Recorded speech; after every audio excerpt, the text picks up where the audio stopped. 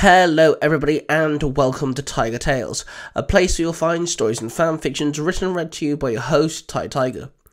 Today, we're diving back into my Marvel and DC fanfiction universe, where in story, both Marvel and DC have combined into one ongoing universe with multiple storylines.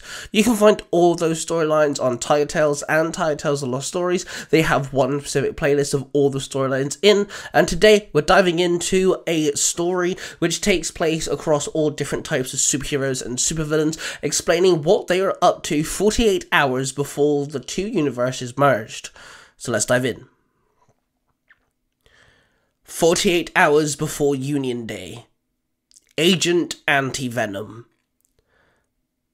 Flash Thompson sat there sipping a latte, sat outside of a cafe watching the crowd around him. Thanks for your help, Eugene. Glad we have someone with your skill set on the job, Agent Coulson said in Flash's earpiece. No worries. Flash muttered, you are after Sleeper Hydra agents. One of them gets away. This could end up being a massive, serious issue. Agent Coulson reminded him. How about we stop talking now? Flash suggested. Rude, man. Very rude. Coulson retorted. Then he remained silent. Flash looked around. Then he made eye contact with a pale, creepy looking figure. Before Flash could react, the man stood up and ran off. Flash bolted out of his chair. His actions caused his table to flip over. He ran after the man. The man moved with incredible speed. Flash had to actually use some effort to keep up with him. The man turned into an alleyway and jumped up really high into the air, landing on top of the roof in one single bound.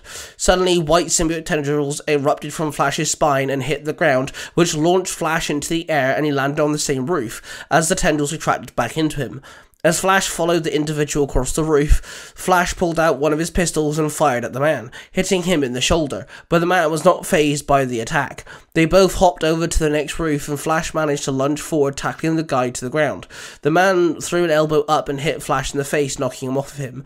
Flash lashed out his arms and white symbiote tendrils exploded from his arm and hit the man and pulled him back then, as the tendrils retracted, the man turned around and threw a punch. Flash caught it, and both of them entered a dance of throwing punches and kicks. The man managed to hold his own very well.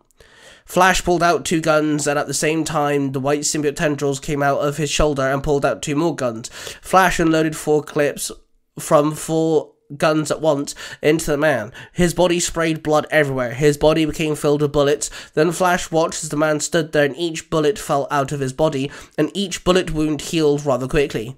Then the man roared at him, his body shimmered purple, and then he exploded. Flash's body was encased with his anti venom suit as he was thrown across the roof by the shockwave of the explosion.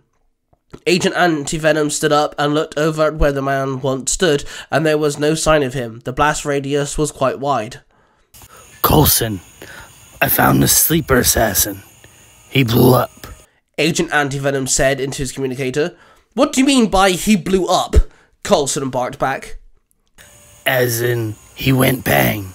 He is no more. He exploded. What do you want me to do? Spell it out for you? Agent Anti-Venom snapped. So he was carrying explosives? Coulson asked. More like he was the explosive. Agent Anti-Venom replied.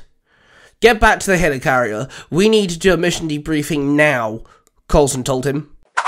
Flash Thompson stood at the holographic table with Coulson and Maria Hill. The table projected a 3D image of New York City, and red dots indicated the known locations of the Hydra sleeper agents. This guy didn't know what he was doing. His body was on a defensive fight or flight mode, and there was a strange purple shimmer to his skin before he went bang. Flash explained, I think it's safe to say these agents were going down as suicide bombers, and out of all of these locations, nothing screams immediate threat to Hydra, Maria said.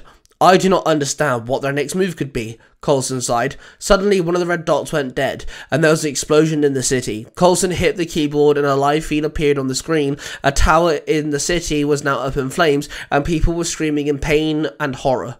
Can I ask your help one more time? Coulson asked. Already on it. Flash responded. Then his anti venom suit materialized around him and he ran out of the helicarrier and jumped off the edge and soared down to the city below.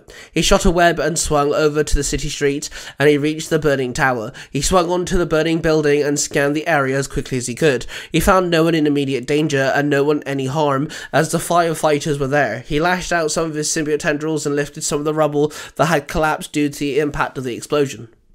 This wasn't an attack on this building. This building is a diversion. Scan the city, something is going on.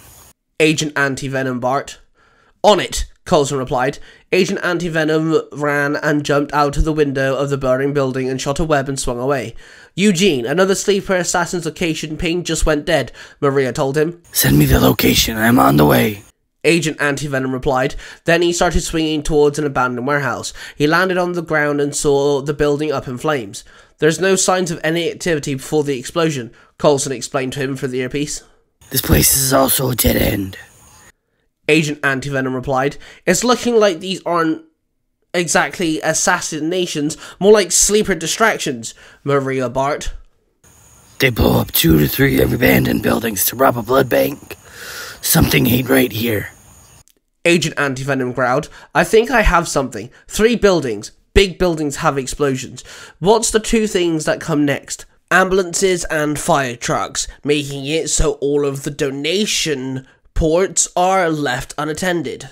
Well, there's a blood donation going down right now. The police radio says that there is a robbery happening with black suited gas mask wearing gun wielding thugs, Coulson explained.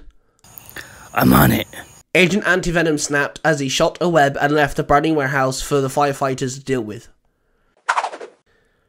The blood donation workers were on their knees as Hydra soldiers started piling up the bags of blood into a van. Agent Antivenom landed and punched a Hydra soldier, knocking the wind out of him. His symbiotic tendrils came out of his shoulder and snatched the guns out of the soldier's hand, and then he flipped backwards, pulling out all four guns at the same time, once again. With multiple bullets, he shot the soldiers down.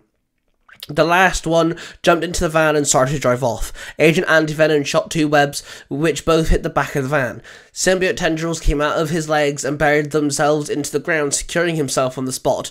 Then Agent Antivenom pulled as hard as he could. The van halted on the spot, its tires spun uncontrollably and started to smoke, till the engine made a popping noise and the van stopped. The Hydra soldier cl- climbed out of the van and fell to the ground. Agent Antivenom shot a web, sticking the soldier to the ground. Agent Antivenom turned to the hostages and helped them to their feet. Coulson, donated blood is secured, and the hostages are safe. Agent Anti Venom said into his communicator. Good job, Eugene. The other buildings that exploded have been secured thanks for the assistance, Coulson told him. I want to know why Hydra needed to steal donated blood.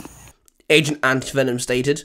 Yeah, you and me both, Coulson replied. Then Agent Antivenom walked up to the end of the path and looked up to the sky. His mask retracted and Flash allowed the soft, gentle breeze to touch his face. He looked up into the sky and a massive burst of light exploded. A massive portal appeared in space. It could be seen in the sky. It was so big it took up half the sky.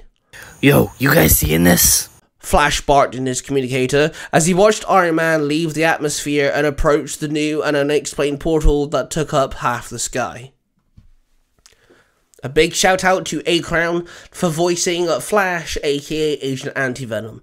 Please make sure you check out the rest of the stories within the Marvel and DC fanfiction universe here on Tiger Tales and Tiger Tales The Lost Stories.